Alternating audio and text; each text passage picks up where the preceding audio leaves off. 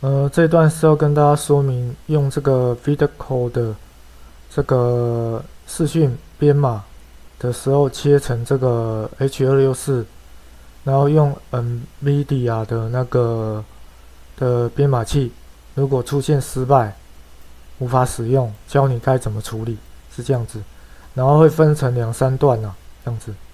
好，那这一篇的视频解说。哦，贴在 YouTube 的注解这边。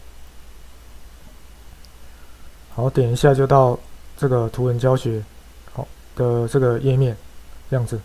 好，呃，就到这边来看一下。好，我跳下一段了。好，这边要说一下这个用这个 feeder Code，呃，用那个 H 二六四。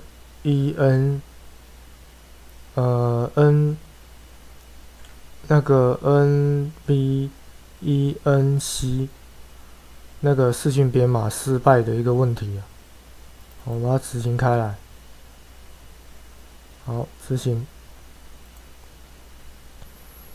好让大家看一下，好，呃就用这呃不用这个视讯档开起来，然后用个范例。开起来怎么？哦，在第二页，用这个好了，红花也好。然后我这边，我现在要讲的这一段是这个编码设定啊。然后我这边把视讯编码切成这个 NVIDIA 的这个，用 NVIDIA 的那个 GPU。NVIDIA 显示卡上面它有一个 GPU 嘛，用它的 GPU 来跑，那这画面更新更新率七二零 P 有没有？是没有这个三十的哦，它是不支援三十的。我们把它切到二十九点九七哦，这个我在其他的文章会说明啊。这个三十是一零八零 P 才有的。好，那让大家看一下，我设好之后关闭编码，它会出现失败，会出现失败，它的原因在哪里？滑鼠右键，先把它那个滑鼠左键点一下，它会变成那个蓝色的一个条，滑鼠右键点一下编辑，不是编辑啊，开启记录，说错。好，我们点一下这个滑鼠右键，然后开启记录，向下拉，它这边会写，好，最小的要求的那个 driver，那个是那个设备的那个的版本三九零点七七，让大家看一下我现在的嗯那个。驱动驱动版本，好，点击开来，NVIDIA 的控制面板，说明这里有没有系统资讯？三八点四点七六，好，先到这里。那我先要把它那个升级一下，好这。就先到这里，我是把它升级。我现在的现在时间嘛，二零一九年十月二十九号，它最新版本是到四四零了，好四四百四十多这样子。好，我现在要把它升级完，那就先解说到这。好，NVIDIA 的这个显示卡这个驱动要怎么更新？好，假设你没有装那个一。Experience 那个、那个、那个组件呐，因为我是没有装啊，哦，因为这种东西就是说少一个就少一个，那就要用手动更新。那这个东西也很简单，哦，这样子，哦，这边是传统控制台啊，到那个控制台，好，然后会有一个 NVIDIA 的控制面板，你点一下，好。点一下，它会侦测侦测一些你的电脑的那个那个硬体的设备，然后它会开的比较慢，然后打开之后，这边有一个说明，这里那个我现在也是更新后了，好，这边技术资源这一个，好，你这个一点下去就可以到它的那个网站。然后这边有个驱动程式，啊，就是个那个 GeForce 还是 GeForce 是是不是？我念一下，G GeForce 对 GeForce 这个，啊，然后就这边选一选这样子，好，比如说我的这张显示卡是这个。是这个吗？啊，不是这个，这个叫做装置管理员呐，它到装置管理员。好，这边就可以看到这张 GTX 一零五零这个 TI 这个，好，然后这边，好，这边第一个是选系列的，一零开头的，一零 Series。Series 是 Series 是系列的意思啊，C，瑞，二四 Series 哦，Series 啊，这个 C，呃呃，看错，Series 对对，Series 系列，好一零，这个，那这个是 Notebook 是是这个笔电的啊，哦，这个是笔电的，就是这个，切一下，然后。一零系列大概是这些啦，哦，GT 系列是最多的，GT 系列系列是最多。哦，这边它这边都是 G 那个 GT 的，哦，这边的一整串的那个有两百到到一零都是 G GT 系列的，是最多的。然后后来是就是点一下你你的那个 GTX 系列的，是这个。我看你显示卡是什么的，大概是这两项选一选啊。那这个就是 Windows 十六四 bit，因为现在都是要装六四位元啊。哦，不管你，因为那个是记忆体的问题，你记忆体只要超过四 G 的，你的那个记忆体超过四 G 的，通通都要用六四位元，要不然你后面装了没有用啊。像你用八 G 的或者是十六 G 的机体，通通都要用六十四位元，那个是。机体的问题啊，机体你超过四 G，你通通都要用六十四位元，要不然没有用。好，好，那这个就是这边就是预设就好。那这个是繁体中文，开始搜索，然后就是点的就下载这样子，然后下载回来，下载回来就是点击这个安装啊。那安装都中文，就看都是中文啊，我就不解说了，节省时间。因为这是没有办法，我开着那个边录那个边安装的，因为它这个会把那个就是会跟那个软体去冲到啊，啊，那个是安装程序的时候，其他东西是不能执行的，像驱动程式安装，其他程式是不能执行的，还有显示卡的安装也是不能，就是单独你就只能执行这一个，还有什么？大概是这两个啊，就是这是最基本的东西啊，是不能去安装其执行其他东西的，这会有冲突。好，那好了之后，有没有版本？这边可以看系统资讯这个，好就可以换到这个。换到这个的时候，然后我在跑的时候，我切成。嗯，我看那个，不管是这个 stable 稳定版，或者是 beta，好 beta 这个测试版，好都可以用 H 二六四的 NV 这个 encode，好 encode 的这个编码器，好来来用这样子，都可以跑这样子。可以切成这个，可以跑，啊，但是不用太开心，因为我刚才测试过，呃，它这个不是用用来转那个做影音转档的，它这个东西是偏向是在那个那个游戏直播啦，然后就是这个地方你可以切成这一个，然后就可以按编码，好，就可以跑了，因为我节省时间，我就不再解说这个跑的，这样子。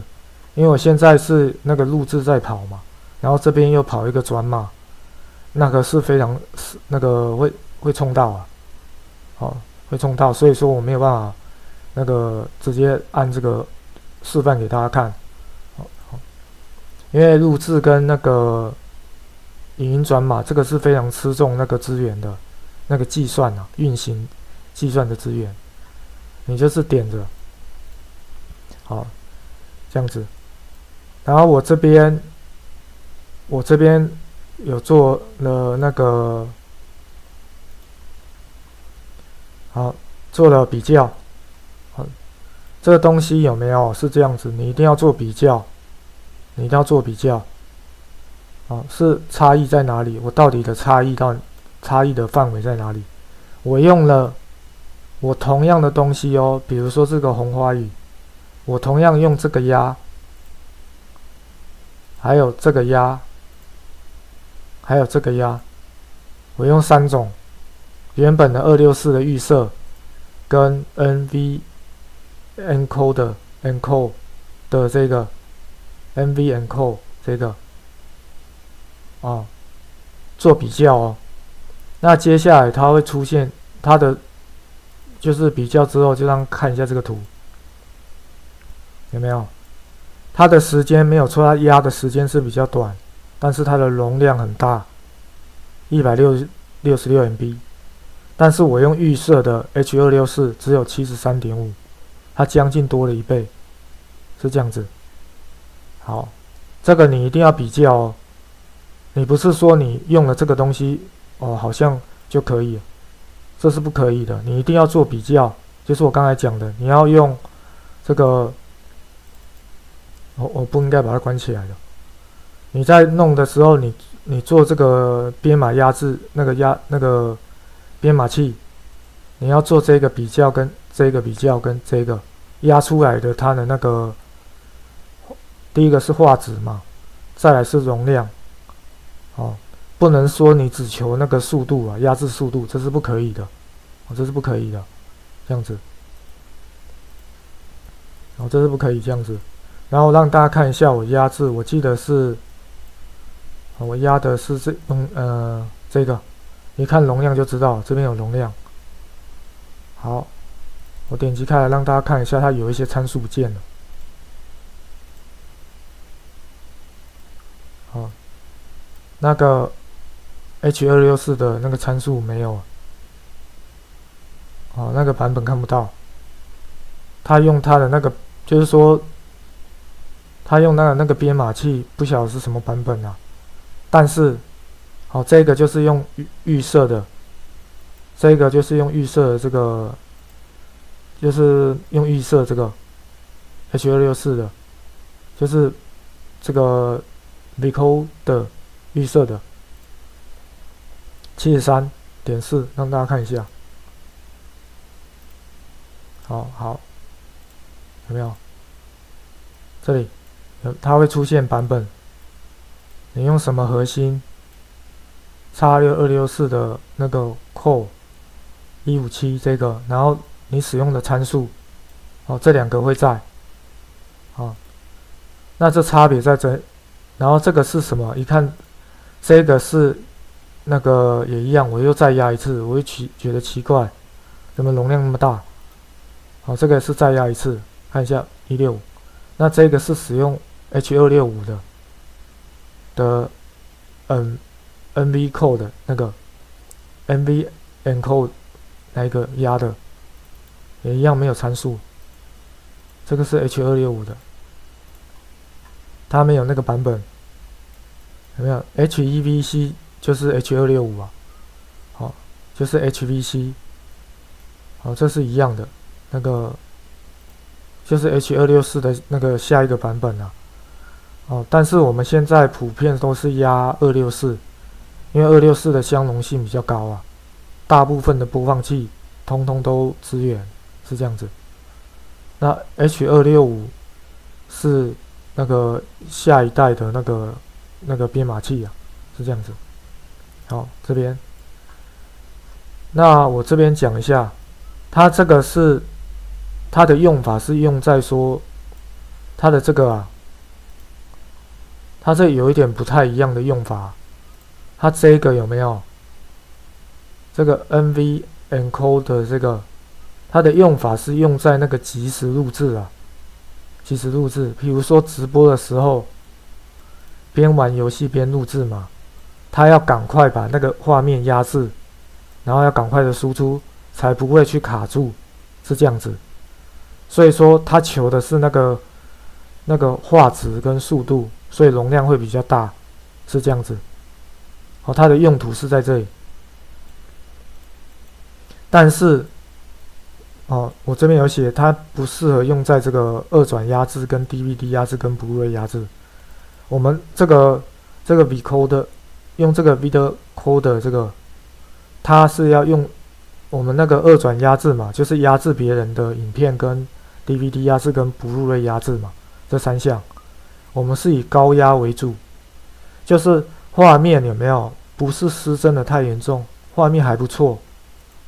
我们你不可能啊，你比如说不入瑞嘛，它的三十 GB 哦，它这个注意，它这个是有的时候二十 GB，你把它攒到剩下两 GB，大概是十倍左右的差距，你要画质要非常好，这很困难。但是我们是以加。就是画质加还算不错，我们能接受这样就可以了。那 DVD 也一样，DVD 的画质是四 GB 嘛？那我们一样看是你要攒一半。我现在看的那个 DVD，大概一个小时左右的，一个小时的影片，它压四 GB 嘛？DVD 的，把大概压压制在一点五左右，就是攒剩下一点五 GB 左右，那个画质就算。还不错，还可以了，就是攒大概剩下五分之二左右的那个，我看一下四除以一点五啊，哦，大概那个剩下呃四分之二点六左右啊，哦，就是那个四 GB，因为。DVD 大概就是四 GB 的容量嘛，它的把它压成大概一点五左右到两 GB，那个画质就算加就还不错。然后要求是容量要低，容量要低，因为我们压制影片的作用就是在攒容量啊，我们要把容量攒低，然后画质要加，这是这是我们高压的，我们高压的目的啊，就是求求这两个。然后来看一下，有没有？这是用预设的哦，预设的是七十三点四哦。然后这个是使用那个，这个是使用这个的。哦，这它的这个用法是不一样的，两者需求是不同的。所以说我这个是放弃啊，因为我主要是用来做这个 VCO 的，它主要是用来做二转重压跟。DVD 压制跟不锐压制这三项嘛，那所以说，呃，我最后的判断是用预设的 H 二六四叉二六四就可以了。那你也可以切成二六五啊，好，切成二六五，你也可以切成二六五，好，这样子，二六四或二六五，好，这样子。那在上一段嘛，因为我我在最前面的那个视频有说，我大概会分成两三段，切成两段段来做做这一段的说明。在上一段有说明画面更新率，那我没有看到这个了。好，这个这个的意思就是说，它会它有中文解释哦。你看一下，你移到上面，它会有中文解释，它会以最大的那个。它这个不是固定嘛？那个画源画面更新率的，这个 FPS 的意思，哦，用三十就可以，就是它预设就可以了，哦，它预设就可以了，你不用去动了。哦，它会自动的去抓那个最高的那个画面的率，然后把它用那个最高的画面那个率，它不是固定用三十的，这不一样，这选项不一样。那关于这个视讯的这个这边的设置，我另会另外开一篇做说明啊，哦，做说明。那这一篇主要是跟大家讲一下这个参数啊。跟预设的这个参数的差异，我到底要不要用这个编码器？那我最后的判断是我不要用这个编码器，因为它这个是属属于那个直播在用的，就是边边玩游戏边录制的那一种的，要赶快把画面输出，才不会卡住。好，就是即时录制的。那我们用二转重压、DVD 压制跟不入的压制这三个。我们是以高压为主，然后那个要画质佳、容量低，所以说两者需求不一样。所以说我们在使用这个 Vocoder 压做这三种压制的时候，我们是用预设的，看你是要用二六四也好，或者是用二六五都可以啊，哦，都可以是这样子。好。那这段的视频就解决到这，谢谢大家耐心收看此段视频。呃，我这边忘了说，那个假设你要那个抖内资金或小额赞助，在 YouTube 的那个注解这边有一个这个连接，抖内跟赞助的连接，好，可以抖内资金跟小额赞助，那也可以点一下订阅，这样子。好，谢谢大家耐心收看此段视频。